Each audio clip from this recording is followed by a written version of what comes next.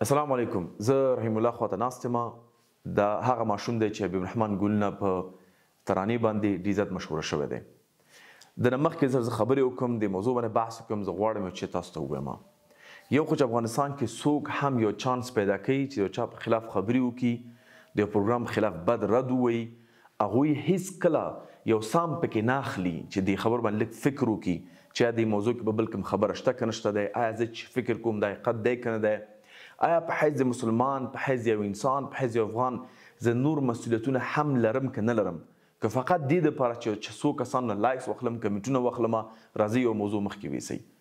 انتقاد د هر انسان حق دی خو لیکن هغه انتقاد چې کوم ځای کې واقعا ته پوهیږې دا ستا انتقاد په ځای دی نه چې دې لپاره فیسبوک ته خلک ځان ښه معرفي کړي لیکن خلک به لګیا وي هر څه به وایي لیکن زه غواړم تاسو دا ووایم چې زه چې هر شی په میډیا کې غیر د میډیا نه کوم بیرته حساب ورکولو ته حاضر یم په هر میدان کې. ماشومان چې کوم موږ سره په قمر کې دي څوارلس سوه نه زیات یتیمان دي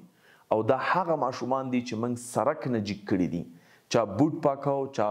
قلمونه خرڅول چا بل څه کول دا موږ سرک نه جیګ کړي ځکه ددوی دا کار موږ نشو امکان نه لرو چې هر یو ماشوم ته دولس زره افغانۍ ورکړو چې ته نو سرک ته مه ځه بوټ مه پاکوه لیکن صرف مکتب ته راشه لیکن موږ ددوی تحصیلي مصارفات چې هغه فیس دی ټرانسپورټیشن دی لباس دی یو برخه یې صحت دی، په بعضې ولایتونو کې لکه پروان موږ ډوډۍ هم ورکوو یو وخت دوی ته، د دوی اختریز دی، د خوراکي بازوخت کې مواد دي، هغه مسولیتونه چې کوم تعلیم مربوط دي هغه موږ په غاړه اغستي دي او همیشه به ورسره ولاړ یو، موږ دده لپاره الحمدالله ښه سیستم جوړ کړی چې هغه روان دی، لیکن امکان نه لرو چې څوارلس سوه ماشومان ته موږ دوولس زره افغانۍ هره میاشت ورکړو، چې کله هم په سیستم ډول باندې کوم کس اسپانسر پیدا کیږي هغه دوامداره سپانسر کیږي هغه نو ضرورت نه لري الحمد تاسو تیره ویډیو وګوره چې موږ هره میاشت زکات پیسې خلکو ته ورکولې نغدې همداسې زیرو هنګر لرو لیکن جدا پروګرامونه دي زیرو هنګر کې چې یو چاته موږ د میاشتې پیسې ورکوو هغه او بدل کې یو کسب زده کوي دولس میاشتې چا کسب زده کو غربت نه وځي خپل کار ورمخکې وړي لیکن یتیمانو ته موږ بعضو ته لس ډالر د میاشتې ورکوو بعضو ته خوراکي مواد ورکوو بعضو ته پیسې نه ورکوو نور اسباب ته ورکوو لیکن هدف دا دی چې دوی درس راشي که زه دولس زره افغانۍ هر یو ماشوم ته ورکړم نو دا د میاشتې کیږي اتلس لکه او شپېته زره افغانۍ یعنې څوارلسو ماشومانو ته امکان دي ځینې کوم ځای برابردلی شي دغه ماشوم دنه مخکې هم زه به دا پوښتنه ترې وکړم السلام علیکم وعلیکم السلام ستونې دې ښه دي خیر دا ستا عکس یو څو ورځې کېږي په سوشل میډیا باندې راغلی دی او خال دا وی تاسو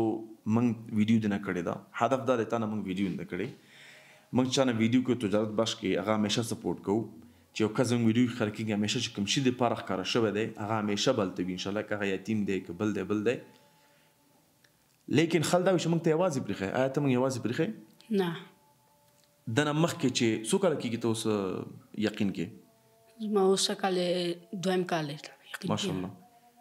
دنه مخکې د چی کول؟ دنه مخکې مې بوټ پالیشي کو اوس هم بوټ پالیشي کې؟ اوس هم بوټ پالیشي د شهرت نه بعد چې ویډیو د خبره شوه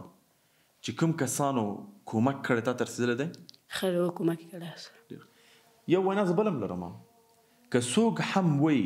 چې نعوذ بالله دوی په حق باندې مخکې روان یو کس خو دې میډیا کې رامخکې شي کنه هغه دا ووایي چې ما دې ماشومانو ته یو څه پیسې لیږلې وې یا میاشتنی کومک مې ورسره کاوه او دوی ته نه رسیدلی ده نه مخکې ته انتقاد وکړې ایا دا په حیث د مسلمان باید فکر ونه کړې چې ولې ته کومک نه ده شوی ایا زه دا کومک کوی شم که نه شم کولی یو چا لیکلي وو افسوس افسوس چې دومره شهرت سره هم ته چا ته کومک نه کړی وروڼو حقیقت دا دی یو ویډیو ما خپره کړې وه چې میاشتې موږ سره کومک کوئ یو نیم لک کسانو کتلی او اووه پنځوس کسانو ځان ثبت کړی دی یو نیم لک اووه پنځوس وګوره دا بل حقیقت دی چې د قمر اتیا فیصده بودیجه افغانانو طرف نه راځی زمونږ زیات توجه په عربانو په ترکانو باندی په نورو خلکو باندی چې کوم په هالند کې په جرمنی کې او په انګلستان کې دی شل فیصده بودیجه زمونږ افغانان ورکوی هغه هم چې ماشاالله لس فیصده پکې څو تجاران دی عوامو لس فیصده ده. دا معلومیږي چې موږ په عمل کې ډیر ضعیف یو لیکن په خبرو کې ډیر تکړه یو. دا یو حقیقت دی. یعنې دا دومره لکهاو یا مثلا لکهاو به نه وي خو څو کسان چې دا کمنټونه او میسجونه او پیغامونه یې کول ماشاءالله ډیر الله اجر ورکړي غوښتل چې وضاحت وغواړي صبر یې وکړو ته دوی وضاحت وغواړي بیا به خبرې کوو یو کس خو د رامخکې شي کنه د دې ماشوم سپانسرشیپ د غاړه کې واخلي. موږ په سلسله کې څو کسان سره مې خبرې روان کړي دي سپانسرشیپ کوم مشران سره کومک کړی دی امارت هغه هم موږ ده ته نغدې ورکړي دي بلکې دوی ما منع کړي دي چې میډیا ته لاړ شي یا مثلا لاړ شي مشرانو سره کیني دلیل دا دی غواړم دوی درس توجه ورکړي لیکن امکان نه لرو ورونو چې د هر یو کس پور مصرف ورکو د دې امکان نشته دی څوک چې افسوس افسوس دونه شهرت یې بیا هم چې نشته دی ته را مخکې شه ته یې شهرت پیژنې را مخکې شه د کور فامیل سپورټ که راشه یعنې دا یو یو یو عقلي بحث باید وکړو لیکن دا کس چې د خوا ته راغی عکس یې دنه واغستو څه کومک یې هم سره وکړو که همسې لاړو؟ نه دوی ماته ویل ویل زما یو ورور هغه کې دی هند کې دی ویل عکس درنه اخلم هغې ته لیږم که هغې سره کومک وکړو زه به درته ووایم هغه عکس خو فیسبوک کې وه چې ورور ته خو نه لیږلی ما ماته یې ویل ویل ورور ته یې لیږم نور خبر نه شتم ما ویل ما هغه مه اخله چې ما مدیر اجازه نه ده راکړې او موږ ماته نه چې موږ بیخي چمک ته اجازه نه درکړي چې عکس واخلو او بې ځایه وګرځو، زه لا بې ځایه ګرځم هم نه او دا د بوټ پالیشي ته هم نه راوتلم خو اوس د مجبوري د لاسه یو رول نه د خاصې خاطره دې خوا ته خوا ته وګرځم چې یو مړۍ ډوډۍ خپل مو خور و مور ته پیدا کړم. اوسه پورې څونه پیسې چې کوم کسانو موږ ته راکړي دي تاته درکړل شوي دي؟ دېرش زره څلوېښت زره راکړي دي. ښه ماشاءالله دومره برته یم چې ما څه کسانو سره خبرې روانې کړې دي، دې روژه کې زما یو پارټنران دي، یو څه دوستان دي، هغوی سره مې خبرې روانې کړې دي، هغوی الحمدالله ستا سپانسرشیپ منلی دی چې هره میاشت پیسې درکړي درته، بلکې ته نه یوه بله خور مو په اریان تلویزیون کې ما سره مرکه تلویزیون ته راغلې وه، د هغه سپانسرشیپ یې منلی دی، یو تقریباً څلور پنځه فامیله دي، نو په هغه لیست کې به موږ تا هم اضافه کړو انشاءالله چې ته د میاشتې فکر اوبه ګورم چې هغه اته زره افغانۍ کېږي که لس زره افغانۍ او موږ درکړو ورته بیا هم اته زره افغانۍ افغان شی نه دي که کوم دوست بله مخکې کېږي د ده په شان نور یتیمان هم شته دی موږ باید یو موضوع ته چې یو سړی مشهور وي ارزښت ته ور نه کړو چې یتیم دی انسان دی ارزښت باید ته ورکړو نو که څوګ هم تکړه کېږي را دې شي همداسې ماشومان سپانسر کړي موږ د پول خیاست لرو تاسو سه نمبر هم درکوو چا چې سپانسرشیپ کوئ ادرس هم درکوو ته فقط چی پښتنه وکړه دا پیسی درکړل شوی که نه درکړل شوی دا یو مهم خبره ده لیکن هغه نه بغیر فقط په چټیاتو باندی باید وخت ضایع نه کړو ما شپی په باندی فکر کاو ځکه الحمدالله موږ ډیر مخلصانه زموږ دا ټول ټیم لګیا دی یقین د قمر یو برخه نه ده لیکن د یقین ټیم چې کوم زحمت وباسي هغه صرف الله ته خبر دی تاسو ټول په دې باغ خبر هستئ د قمر هلکان چې کوم زحمت وباسي زه دې رمضان کې راغلی وم دا قصه ما هلکان ته هم کوله اوس په کمره کې به هم وایم رمضان مې له افغانستان کې تیر کوم چې لږ اجر سړی لاسه روړي نو چې حقیقت دا دی چې کوم لازم تلاوتونه دي، کوم تراویح دي، کوم نوافل دي، کوم اعمال دي هغه موږ نه پاتې شوي دي، دلیل دې مصروفیت د دې کارو دی. زه لږ تشویش هم وم چې یا رب ګوره زه راغلم دې لپاره چې خپل اجر ډېر لاس ته راوړم او عبادت وکړم، چندان شی مې لاس ته رانه وړل. نو پرون شپه باندې مې فکر کاوه چی ولی افغانان یو موضوع چی لږ څیړی نه فقط خپل فیصله کوی او وایی چی بس وشو خبره ښه ده دا زه چی څه فکر کوم دسی دی بل رقم پاکستانه خبره اډو کیدای نشی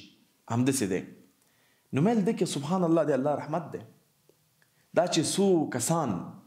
زمونږ ټیم په خلاف یا زما په خلاف چی ویلی دی الله اکبر مونږ مونږ په دی کامیاب یو په دې کې حقیقت کې